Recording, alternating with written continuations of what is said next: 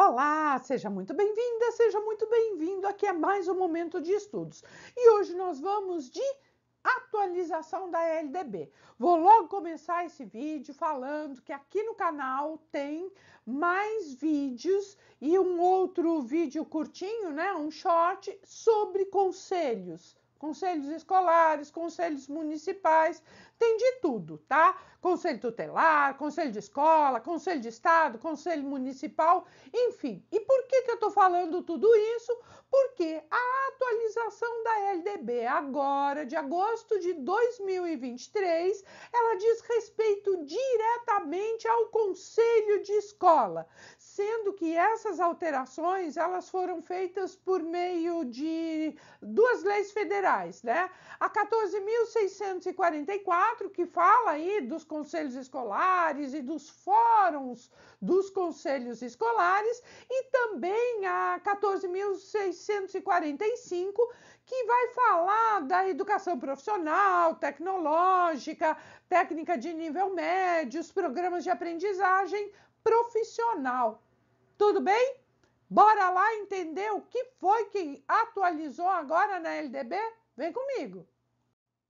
Então, olha só, o que, que é que, é, qual foi a lei né, que alterou estas questões todas aí dos conselhos? Olha só, é a lei federal, ó, a lei federal número 14.000 644. Ela data, né, de, ó, 2 de agosto de 2023. E ela veio para alterar a LDB, tá? E para instituir os, ó, conselhos. Conselhos escolares né? Não são quaisquer conselhos, são os conselhos escolares e também os fóruns, tá? Os fóruns dos conselhos tutelares. Então, esta lei, a 14.644, veio no mundo para isto, para esta finalidade. Bom, é, aí você já está vendo, né, que ela começa logo lá no artigo 3 e ela fala, né? O artigo 3 fala assim, ó, da LDB, né? O ensino será ministrado com base nos seguintes princípios, tá? E aí sai este texto, tá? Do princípio oitavo não é mais gestão democrática do ensino público na forma desta lei e da legislação dos sistemas de ensino e passa a vigorar com a seguinte redação. Olha só, a nova redação aí do, do princípio oitavo. A gestão democrática do ensino público na forma desta lei, que lei? A LDB, tá? E da legislação dos respectivos estados e municípios e do Distrito Federal. Então, o que falava que antes era só a gestão democrática do ensino público, agora na forma da lei, né? Agora fala gestão democrática do ensino público na forma desta lei e de acordo com a legislação de, olha só, estados, opa, deixa eu mudar aqui, ó, estados, municípios e Distrito Federal. Belezinha? A próxima alteração está no artigo 10. E no artigo 10 acrescentou-se aí, né, mais uma incumbência dos estados estados, tá? Artigo 10 fala das responsabilidades dos estados, que é instituir na forma da lei de que trata o artigo 14, e a gente vai ver ele na minudência, tá? A respeito dos conselhos escolares e fóruns dos conselhos escolares. A outra alteração, né, é no artigo 11, que fala dos municípios. Do que? Da responsabilidade dos municípios, que eles estarão, estarão incumbidos de, ó, instituir na forma da lei de que trata o artigo 14, conselhos escolares e fórum dos conselhos escolares.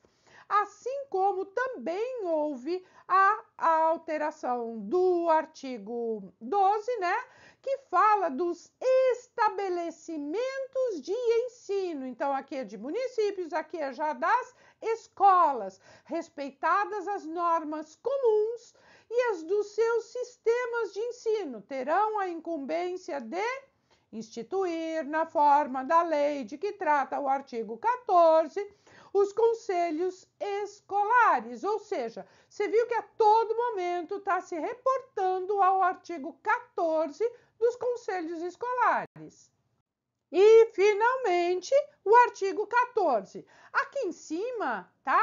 É como era, tá? É como era, como já foi um dia a LDB. E como é que era? A LDB falava assim no artigo 14: os sistemas de ensino definirão as normas de gestão democrática. Olha aí, está falando da gestão democrática, que cada sistema ia definir como é que ele ia fazer essa gestão democrática do ensino público na educação básica, de acordo com as suas peculiaridades e conforme os seguintes princípios. E aí falava lá de todos os princípios. E aí, o texto do artigo, como é que ficou? Olha só, artigo 14, é esse aqui que você precisa gravar, porque as chances dele cair nos próximos concursos é mega. Então, vamos lá, olha. Lei dos respectivos estados, municípios e Distrito Federal definirá, então, olha, é a lei desses, né? É a lei dos estados, municípios e Distrito Federal que definirá o que? As normas da gestão democrática do ensino público. Então não vai mais só ficar pela definição do sistema, mas haverá uma lei, uma lei estadual, uma lei municipal, uma lei lá no Distrito Federal, tá? Na educação básica de acordo com as suas peculiaridades e conforme os seguintes princípios. E agora a gente vai ver princípio por princípio do artigo 14. Belezinha?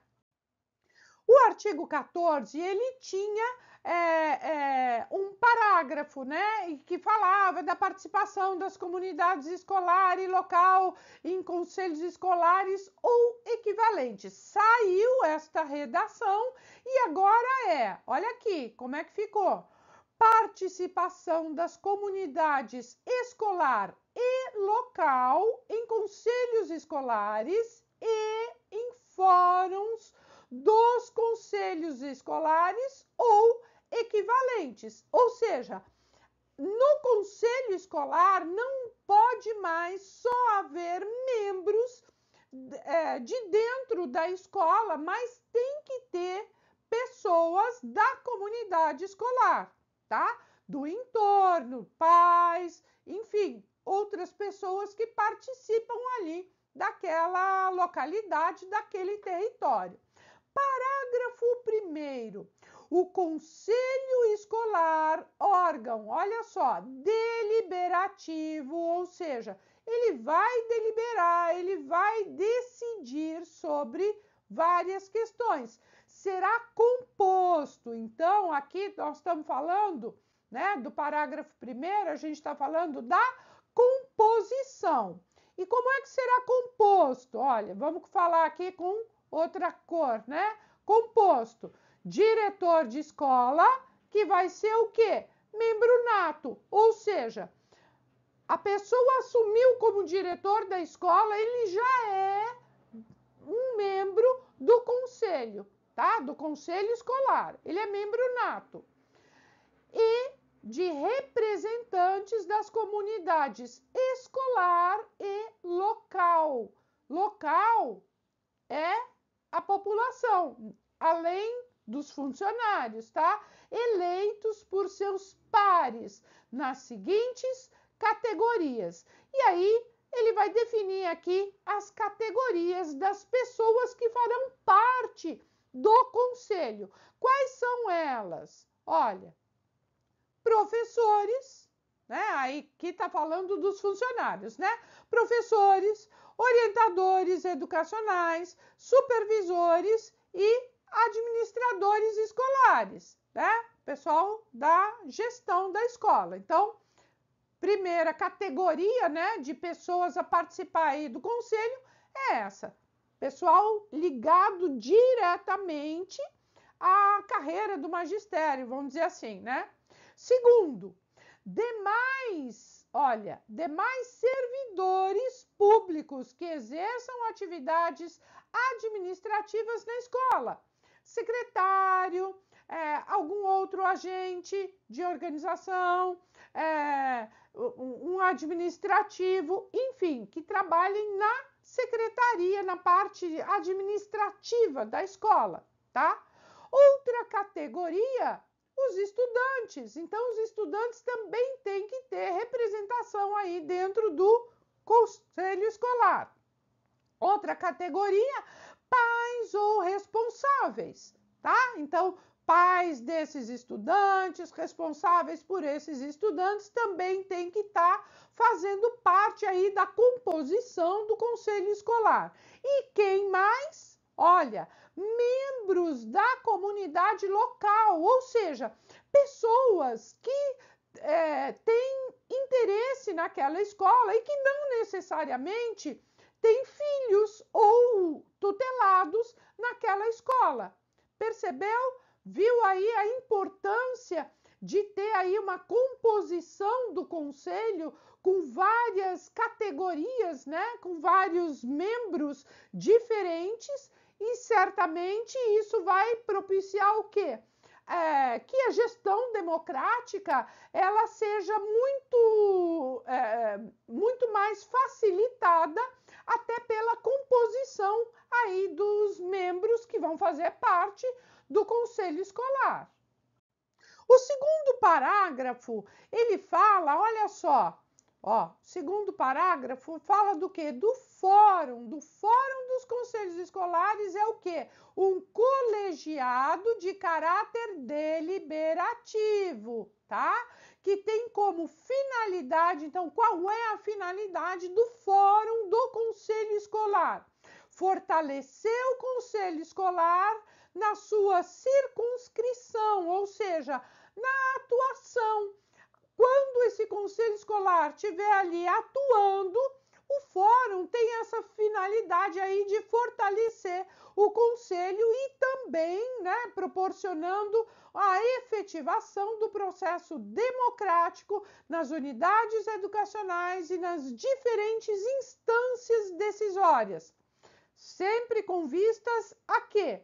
A melhorar a qualidade da educação, norteado aí pelos seguintes princípios e aí, o parágrafo segundo vai falar dos princípios que estão norteando, então, é, é, a, a vislumbrar a melhoria da qualidade da educação. Olha só, através do que?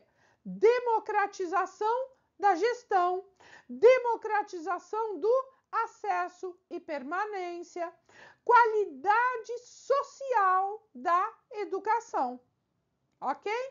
Bom, aí o parágrafo terceiro ele fala do fórum, né? Ó, o fórum dos conselhos será composto. Agora vai falar da composição do fórum é, dos conselhos. Então, como é que tem que ser composto? Olha, dois representantes do órgão responsável pelo sistema de ensino, ou seja, duas pessoas ligadas diretamente por vínculo, né, empregatício com o que? Com o sistema de ensino, com aquela escola, com aquela unidade. E também, olha, dois representantes de cada conselho escolar da circunscrição do Fórum dos Conselhos Escolares. Então, o fórum ele vai ser composto por duas pessoas de dentro ali daquele sistema de ensino, se for estadual, é do sistema estadual, se for do municipal ou se for do Distrito Federal.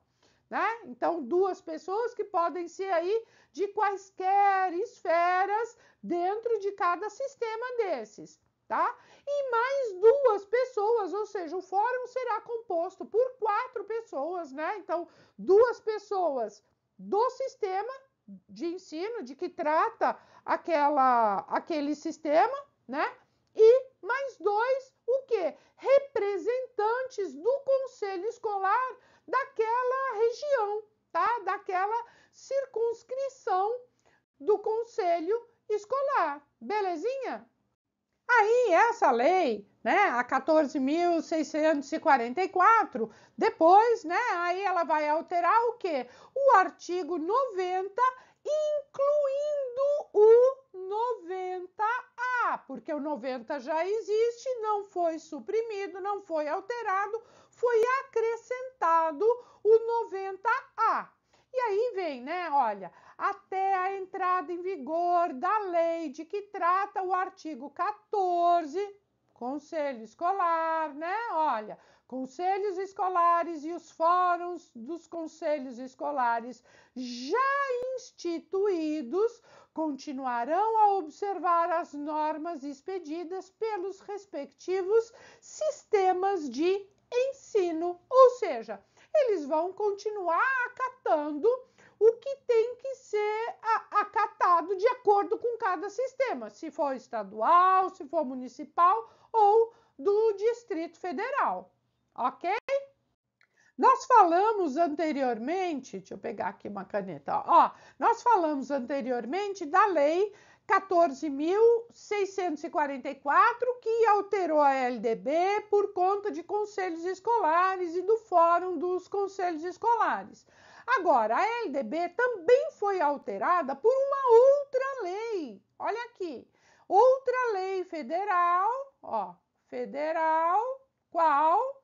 14.645. A lei seguinte, e ela fala do que?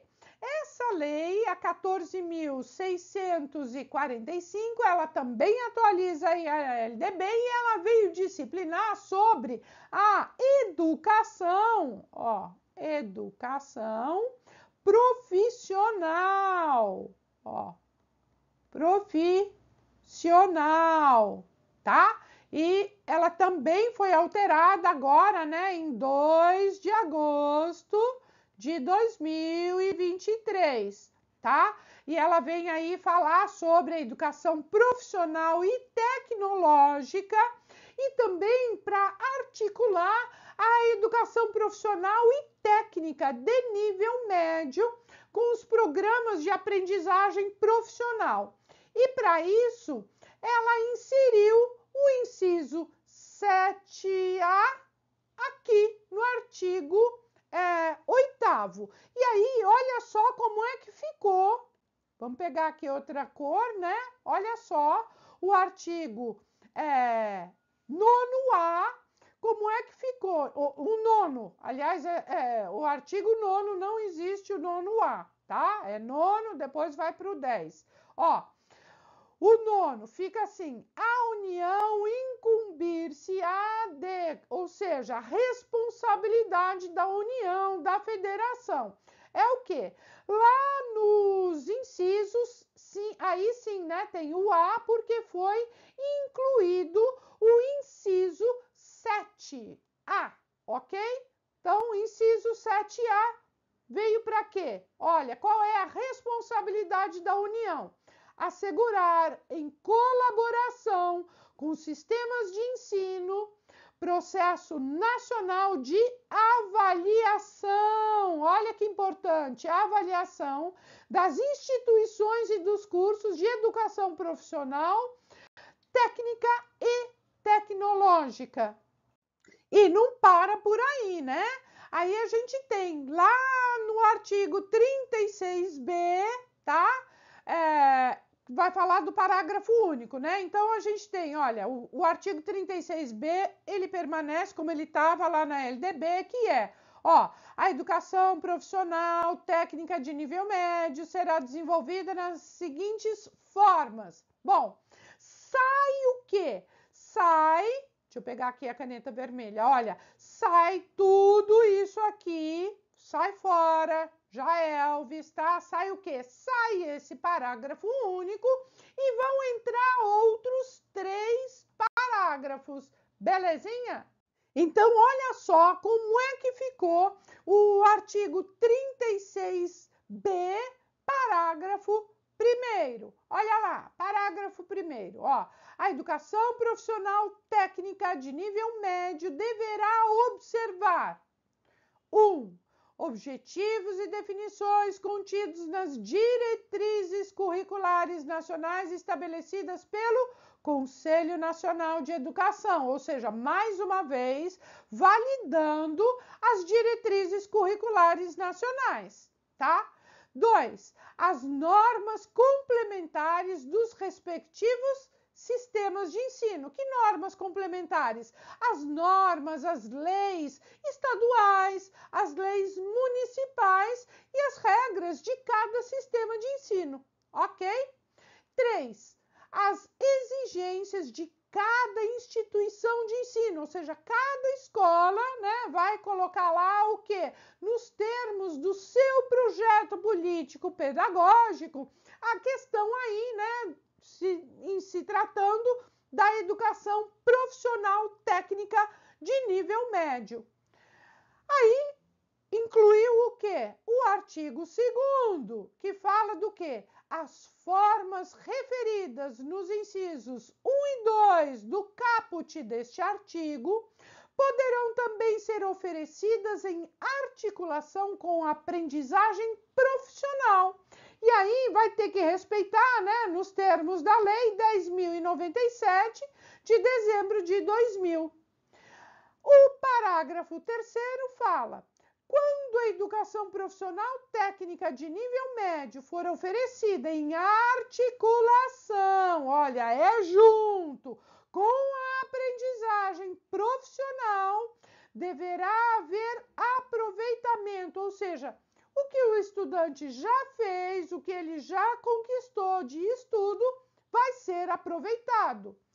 Em relação a quê? Olha só, atividades pedagógicas da educação profissional técnica do nível médio para efeito de cumprimento do contrato de aprendizagem profissional nos termos do regulamento. E dois, das horas de trabalho em aprendizagem profissional para efeito de integralização da carga horária do ensino médio no itinerário da formação técnica e profissional ou da educação profissional técnica de nível médio, também nos termos do regulamento. Mais para frente, né, na LDB, no, no artigo 39, não há alteração, mas há a inclusão do parágrafo 4 porque parava no terceiro, tá? O artigo 39 parava no terceiro. E o artigo caput do artigo 39 fala o quê? A educação profissional e tecnológica, no cumprimento dos objetivos da educação nacional, integra-se aos diferentes níveis e modalidades de educação e as dimensões do trabalho da ciência e da tecnologia. Até aí não houve alteração nenhuma.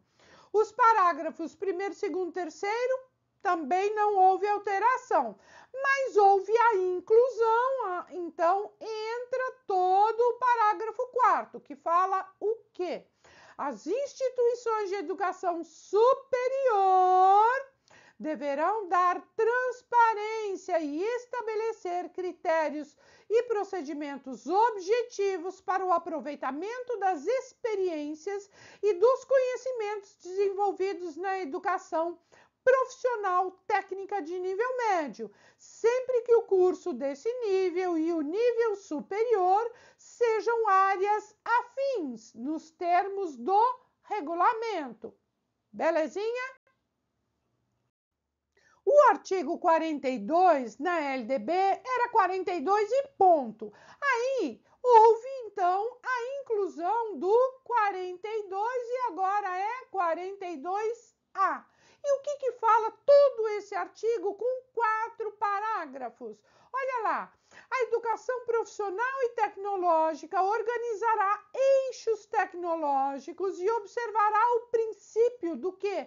Da integração curricular entre cursos e programas, de modo a viabilizar o que? Os itinerários formativos contínuos e trajetórias progressivas de formação de todos os níveis educacionais. Olha, gente, é bom que vocês tenham muita clareza que muitas destas alterações dizem respeito à consequência do que a BNCC está trazendo para o ensino médio.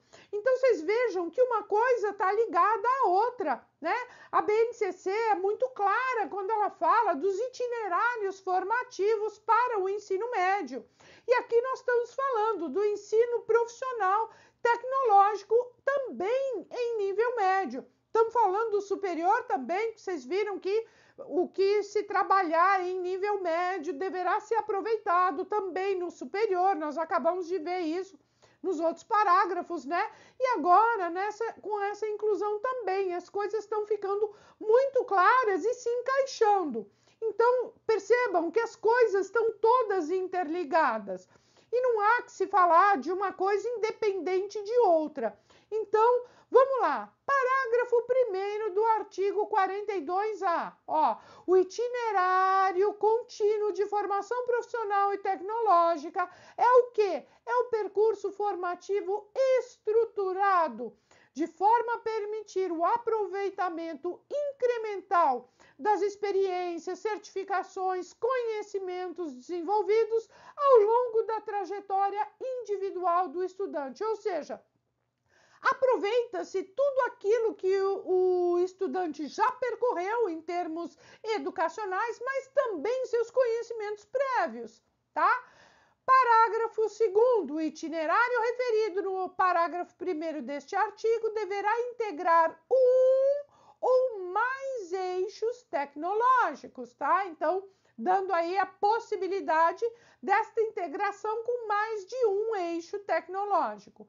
Parágrafo 3 o Catálogo Nacional de Cursos Técnicos, né, que é o CNCT, e o Catálogo Nacional de Cursos Superiores e de Tecnologia, CNCST, orientarão a organização dos cursos e itinerários, segundo eixos tecnológicos, de forma a permitir a sua equivalência para o aproveitamento de estudos entre os níveis médio e superior, ou seja, tem lá já uma definição, um critério nesses catálogos, né? Tanto dos cursos técnicos quanto dos superiores, e há que se respeitar esta mesma organização que já existe, tá?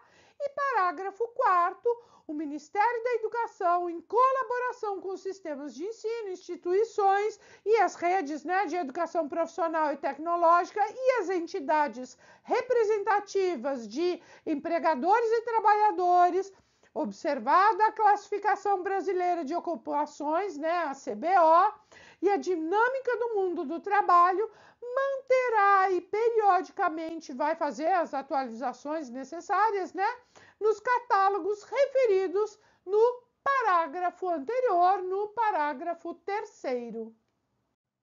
E por fim, a gente tem também é, a inclusão do artigo 42b. Então, olha aqui, o artigo 42b não existia e agora passou a existir lá na LDB, tá?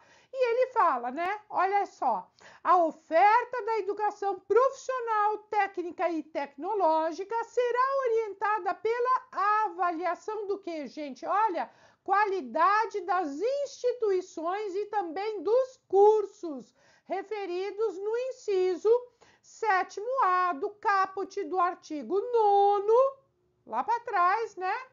Que deverá considerar estatísticas de oferta, fluxo, rendimento, aprendizagem dos saberes do trabalho, a aderência, né? Aquele assunto que tem a ver, né, com a oferta, ao contexto social, econômico e produtivo local e nacional, a inserção dos egressos no mundo do trabalho e as condições institucionais da oferta. Bom, a gente está falando aí, né, da lei 14.645 e essa lei ela não para aqui, tá? Ela ainda vai falar 14.645, mas isso é para um outro vídeo, porque a gente está falando aqui exclusivamente das alterações da LDB. Então a LDB ficou agora com esta redação que tem aqui no vídeo. Mas a 14.645 ela ainda fala do PNE, né? Ela fala do Plano Nacional de Educação e ela fala assim, lá no artigo 4 a União, em colaboração com estados, Distrito Federal, vai ter um prazo de dois anos contados da publicação dessa lei, que tem que ali formular e implementar a política nacional de educação profissional e tecnológica, que tem que ser articulada com o quê? Com o PNE, né? Com o Plano Nacional de Educação, contemplando algumas ações sem o prejuízo, né? Sem minimizar, por exemplo, né?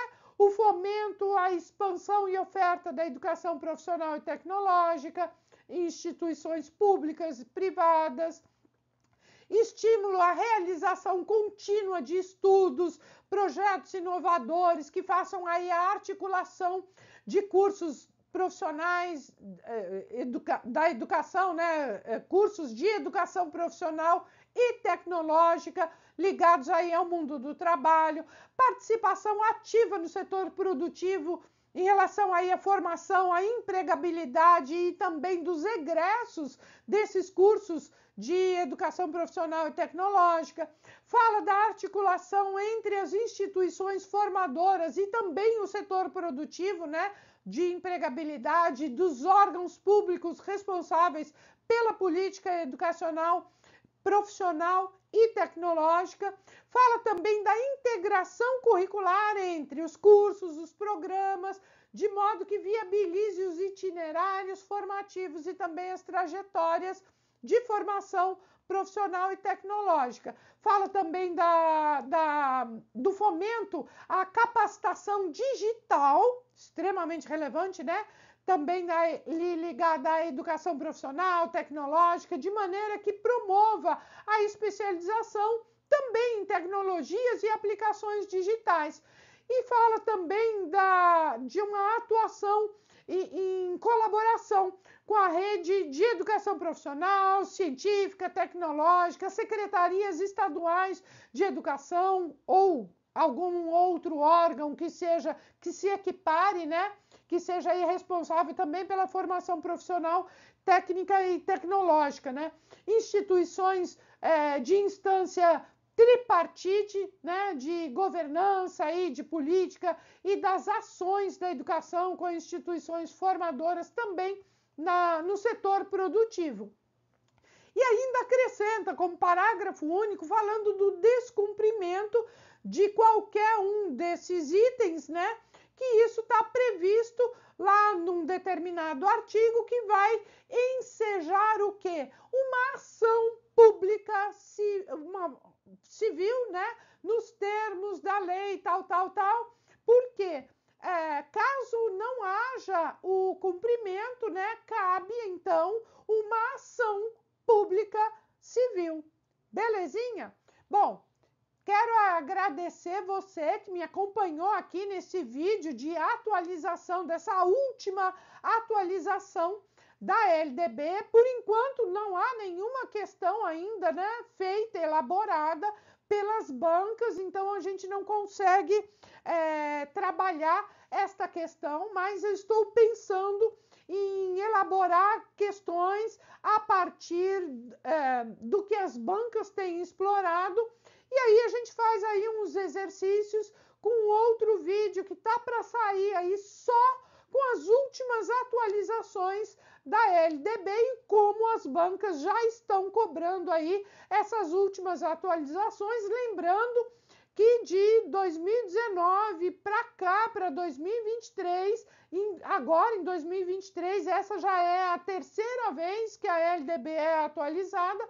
Então, essas outras últimas atualizações, as bancas já estão explorando bastante e a gente vai bater aqui nessa, nessa tecla porque é extremamente pertinente, ok?